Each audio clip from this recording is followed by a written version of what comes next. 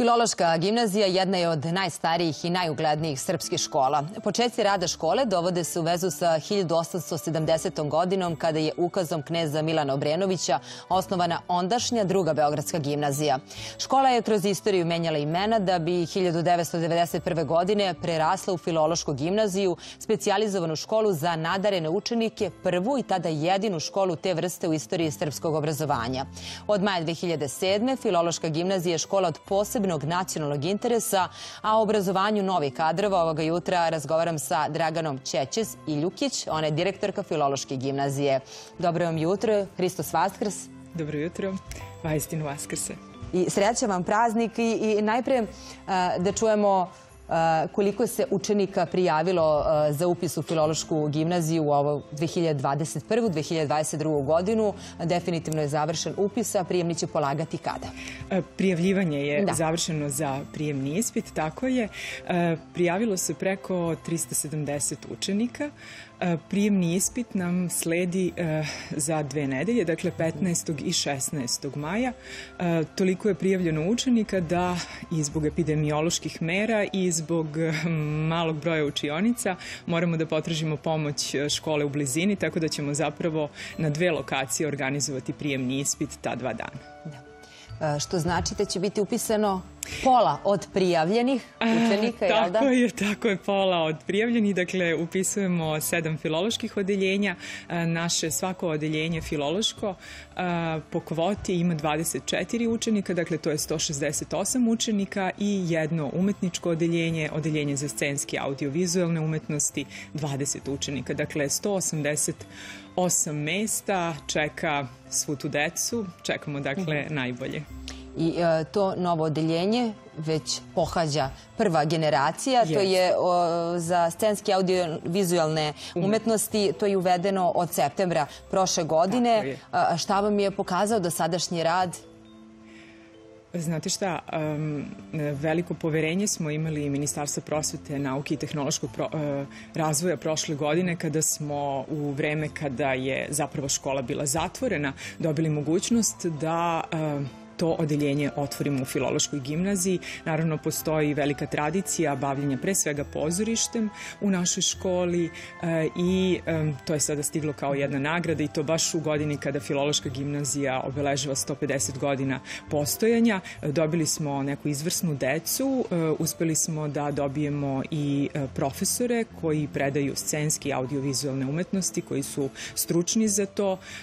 Učenici uživaju, radi se u grupama. Ono što je važno važno i to uvek kažemo da ovo nije škola glume, dakle e, ovo je odeljenje koje radi po posebnom programu, e, programu opšte gimnazije, dakle oni imaju matematiku sve četiri godine kao i likovnu umetnost, ali i ova dva e, predmeta mogu da saznaju sve ono što se nalazi iza dasaka, iza zavese, iza kamere, u montaži, možda jednog dana požele da budu i dramaturzi, i reditelji, i glumci, glumci, montažeri, kostimografi, da prave cipele za predstave ili da postanu lekari i pravnici. To ćemo videti. E, svakako, Filološka gimnazija kroz taj smer pruža obrazovanje. A na koji način ostvarujete saradnju sa Fakultetom dramskih umetnosti? Um, imamo veliku podršku uh, Fakulteta dramskih umetnosti. Uh, sve katedre i profesori su um, otvoreni za saradnju, uh, kako za stručne saradnike koji bi sarađivali sa našim profesorima i učestvovali u određenim aktivnostima, radionicama, časovima. U ovom trenutku um, sve prilično pomalo i stoji, iako radimo zbog korone, jer nas ona sprečava da radimo sve ono što smo želeli i da organizujemo i školu fotografije i školu za pisce i za e, gejmere, dakle za sve ono što jeste važno da deca prođu u ovom periodu s tim što bi u te školice paralelno bile uključene zapravo i sve druge grupe naših učenika, ne samo učenici za scenske i audiovizualne umetnosti. Dakle, i filološka odeljenja imaju mogućnost da učestvuju u tim programima, ali sada još čekamo. da. I u ovoj godini koja je za nama bilo je mnogo izazova svakako, eto i e, novi jezik i jedan e, novi e, smer u filološkoj gimnaziji. Kako ste sve to organizovali, kako ste se snašli u vreme epidemije? Mm, ja sam veoma srećna i ponosna što sam član kolektiva Filološke gimnazije i što su profesori kao i učenici izuzetno sarađivali sve vreme i trudili smo se da budemo podrška jedni drugima i da praktično prevaziđemo na najbolji mogući način te zatvorene dane. Ono što je poseban ponos jeste jedna od knjiga koju smo objavili posle desetomesečnog rada, dakle prošle godine kada smo zatvoreni, Posle mesec dana je konstatovano da se pojavila velika tuga kod dece, veliki strah, velika neizvesnost. Tu su nam bili maturanti koji nisu znali šta da očekuju od prijemnog ispita i od toga da li će biti i da li će moći sigurnim koracima da koračaju ka svojoj budućnosti. Jedna od naših profesorki književnosti, Mirjana Stakić-Savković, je u tri odeljenja dala zadatak svojim maturantima da izvedu književne junake u stvaran svet u Srbiju 2020. Dobili smo 70 prijemnika priča, u ovoj zbirci se nalazi 19 po njihovom izboru. Progovorili su Ahmed Nurudin, Hamlet, Majka Hrabrost, Marko Kraljević. E, cela zbirka je prevedena na engleski jezik i na sve jezike koji postoje u našoj školi. Radili su naši učenici uz pomoć profesora mentora. Dobili smo recenziju e, Duška Kovačevića i čekamo promociju ove dragocene knjige svaka čast i učenicima i profesorima zaista na jednoj divnoj saradnji na zbirci koje su zajedno napravili. Da spomenemo 11 jezika trenutno izučava u Filološkoj gimnaziji, dakle, pored devet, da kažemo, nekih klasičnih, tu su i latinski, starogrčki. Da, devet živih jezika, od prošle godine uveden norveški i dva klasična, starogrčki i mhm. latinski, ali pored e, jezika koji se uče u redovnoj nastavi u našoj školi, učenici imaju mogućnost da fakultativno izučavaju korejski, mhm. finski i češki jezik. E, naravno imamo divnu saradnju sa ambasadama i sa institutima. Trenutno samo korejski u ovom trenutku čeka zato što je profesorka vraćena u Koreju i čekamo malo bolje uslove za rad. I kako je interesovanje?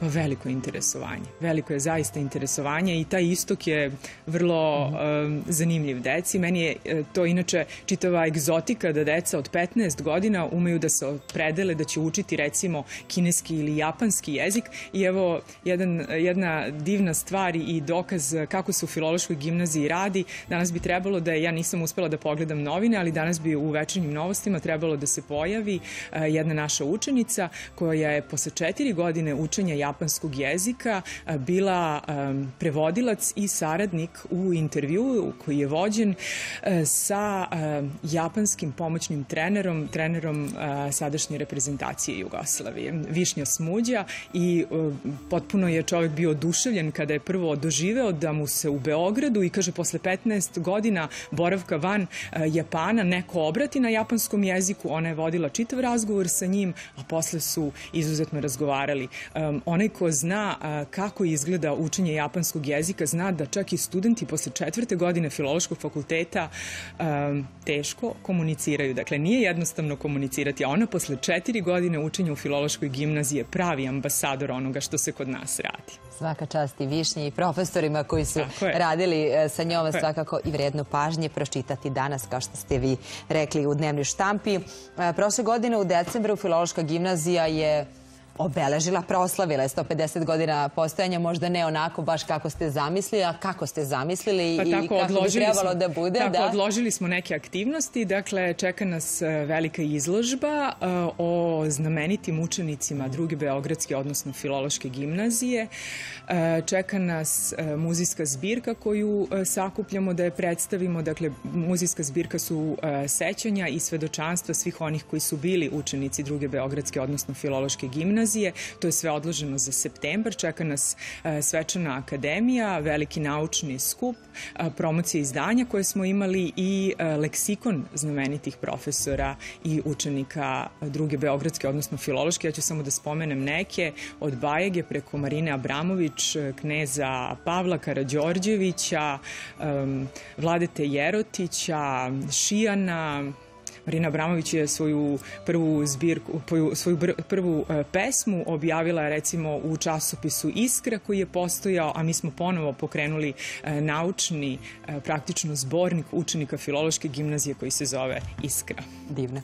I sakupljati vrednu muzejsku zbirku. Tako je. Ona sadrži sve. Pa ona sadrži zapravo svedočanstva i tragove svega onoga što svedoči o boravku u jednoj školi, ne samo diplome, ne samo njihova svedočanstva, nego i rukopise, skripta koja su nastala tokom boravka u školi, fotografije s raznih festivala, dakle sećanja, pisma, sve ono što je svedočanstvo jednog vremena. Da. Da li renovirate biblioteku? Da, to je isto značajno. Dakle, biblioteka je skoro gotova. Čekamo još nekih jedno, jedno tri nedelje da, da bude gotova. Gradski sekretarijat nam je odobrio sredstva za tekuće održavanje, tako da će ovo biti, ja mislim, jedna od najlepših biblioteka u Beogradu, a možda tri u Srbiji, tako smem da kažem, jer su mi još dve škole na pameti koje imaju izuzetne, e, izuzetne biblioteke. Učenici će e, moći ne samo da pretražuju građu, ne samo da rade u biblioteci, e, nego će moći i da prate određene filmske festivale. Dakle, bit će potpuno moderno opremljena sa svim potrebnim sredstvima za modern rad. Ispratit ćemo to svakako, pratimo i upis učenika u Filološku gimnaziju i sve novitete koje se tamo dešavaju. Hvala vama mnogo na ovom gostovanju. Hvala vam. Dragana Čećes Iljukić, direktorka Filološke gimnazije, bila gošća jutarnjeg programa. Vi ostanite i dalje sa nama. Vraćamo se za nekoliko minuta.